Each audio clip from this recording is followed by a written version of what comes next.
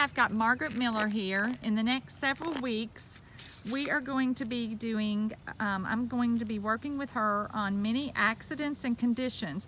And for the purpose of that, I'm gonna go ahead and do a video to assess her living arrangements here.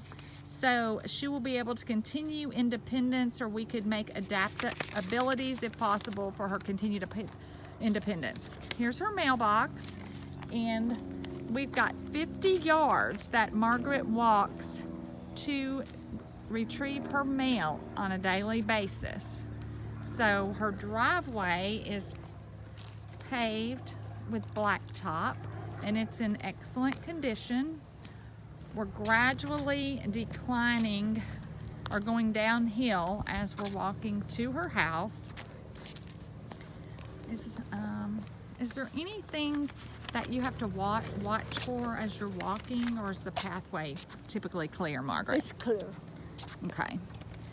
And how would you typically access, if you're going to get your mail, how access your house after that? In front or back?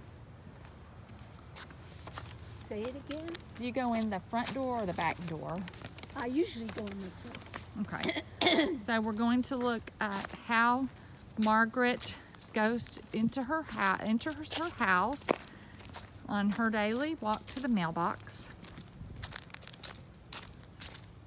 And what time of the day are you coming out to get your mail typically? It's coming early now, so it's um, it depends if I'm going to the store. Or, uh -huh. It depends. I don't have a certain time anymore because okay. he's changed his time.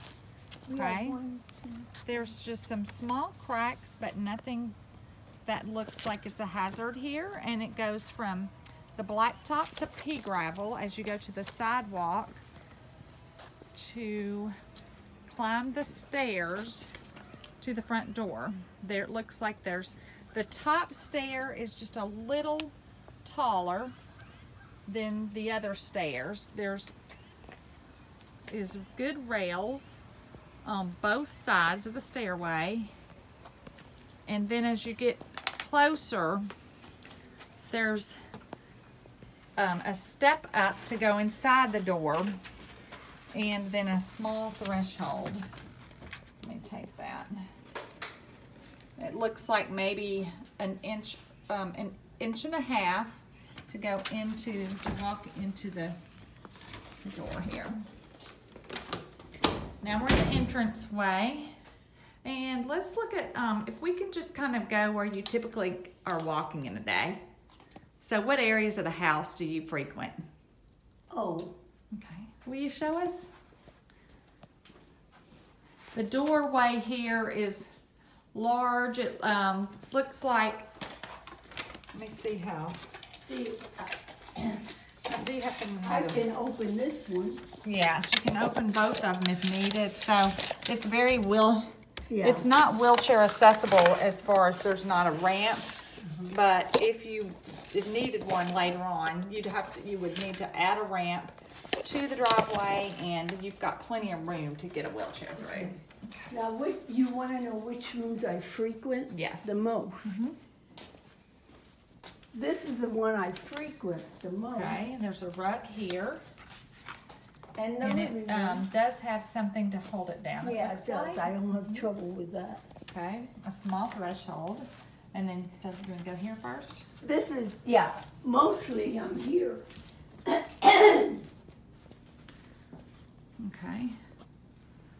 This is where you go on a regular basis to... After I get my work done, I sit mm -hmm. in my recliner or go on my computer. Okay, there's the computer. Okay, it's it my woman's good. cave. Woman's cave. Everyone needs one of those, not just by men. okay, so I know you spend a lot of time in here. Yes. You look at pictures. Is there any obstacles that you know of in here that uh, makes it hard for no. you to no, walk or? not any. Okay, no obstacles. Okay, let's go to the next room. Now what? Um, well, do you sleep the up here? The one I sleep in. Mm -hmm. Okay, this is where you sleep, and there's some um, the hardwood no floor with a small rug here. It doesn't move. Okay, and then we're going into carpeting, and it's um, not plush, but it's medium carpet. Which and it kind of goes around like this. Okay, is this this is where you sleep? Did you say you sleep in this room? Yes. Okay, so this is the bureau that you made reference to. See, when I get when up, you get up to the, the morning, bathroom. Mm -hmm. I just go like this when I have to go to the bathroom. Okay, so you hold on to that for balance. Yeah. And then you go to the bathroom that's right across the hall, right here. Okay. Actually, it's just right to the And side. here's the bar that I held on to, that I told you. Thank goodness I have this. Mm -hmm. Okie dokie, yeah, that's great. Yeah. And then you've got, um, so you like to take baths. Love it. And you've got something you've got to climb over there. And let's see how much room you have from that. I usually have a rug here. Okay. When I get out. Okay. So that's a non-slip surface then. Your bath, your toilet looks like it's set up fine. Mm -hmm. And you've got some room, like that's about two and a half feet looks like, or maybe two feet between that and the shower. Okay. So you've got the entry to there, and then the entry to the larger area. Okay. All right, and then let's, where do we go from here? What, what else you want to know? Well, you go to the kitchen. Is, oh, oh, you don't really go in this one all the no, time. this is the the guest room. Oh, nice. Okay. Let's go um, from here to the um, living room. Living room, you go in there a lot. Okay, and this one's set up, it's a very expanded room and it's not cluttered with with items, so it's an easy walkway. Show them the, the lake okay. and the houses over she there. She comes in here because it's a beautiful lake view. Woo! I would too. And let's see. It, and you typically sit on these couches when you're in here? Yeah. Huh? And they um, are pretty plush. Is it easy to sit down and get up from there? Let's see you do that. No problem. Okay. Okay, wonderful. All right, let's look at the kitchen then. There's, do you use the fireplace much? No, okay. I don't use it at all. Okay. This is my dining room, and that's the. Do you eat out there or not really? When do I you have in the guests. dining room? Okay. How often do you have guests? Not very often anymore. Okay. This is um, going into the kitchen. This is just maybe half an inch, but there's a tiny ramp tiny ramp, but there's a little area here of like a quarter of an inch between the trans no order and that. But there's not a problem, no Margaret problem. said. Okay. She goes in here to get her food in the pantry. And here's also the washer and dryer. Okay.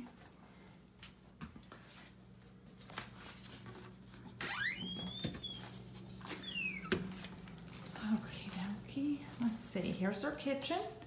So it's pretty open. We have to go upstairs because that's where I store my things. I go Do you go in up there a lot? Let's yeah. go and look at the patio room real quick since we're here because I know you sit out there sometimes. Here? Yeah. Mm -hmm. This is um, where she entertains when her guests come to visit a lot. It's a patio room. And there's a um, about a four inch drop off there of a step. And this is windows.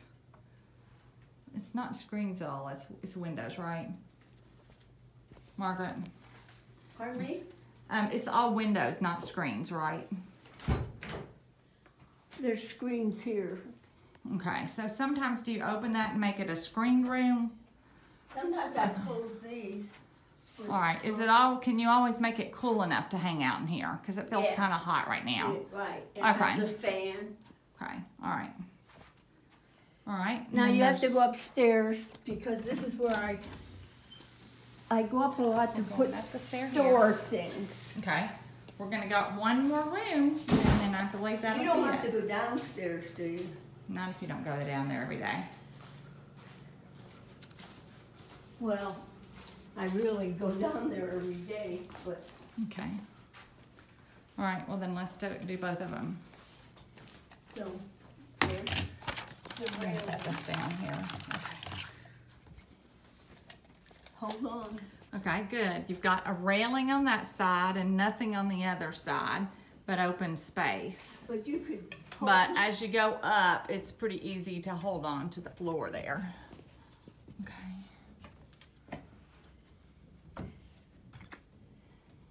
And that's 14 steps and it's um, No not problem. shag carpet. It's pretty flat carpet, but not as flat as Berber. Okay, now you get up this here, and this is like a loft area. Okay. And this is where I stare, store my things. This is hot. When her son, her grandson comes out over, he goes downstairs, not up here though, right? Yeah. Okay, this is a small area. Um, that's a small door to get into the storage area. And what do you keep in here that you get to a lot? Like, you know, Dishes, Christmas stuff and Christmas Halloween stuff, Halloween stuff. Okay, And things I want to get rid of. Okay, can you hold this and let me measure this door real quick, this doorway? Just hold it like that. And the doorway is 23 inches wide.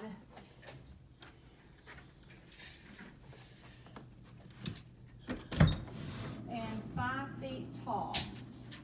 And you can only open the door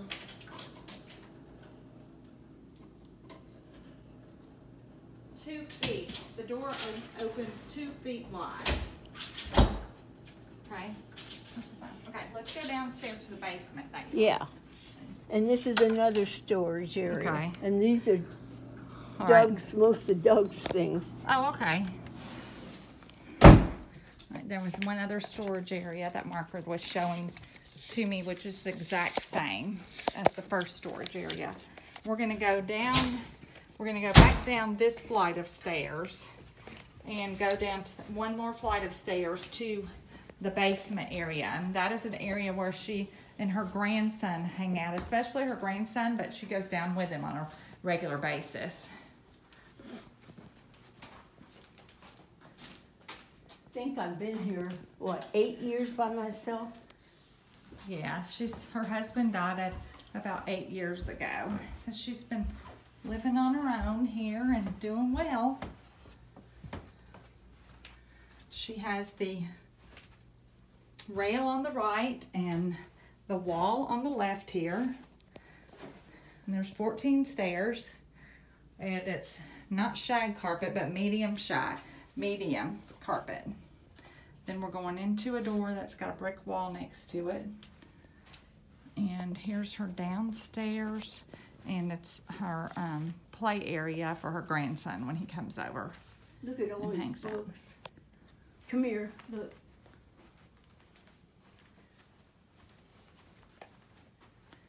This is his Oh, area. okay. Awesome.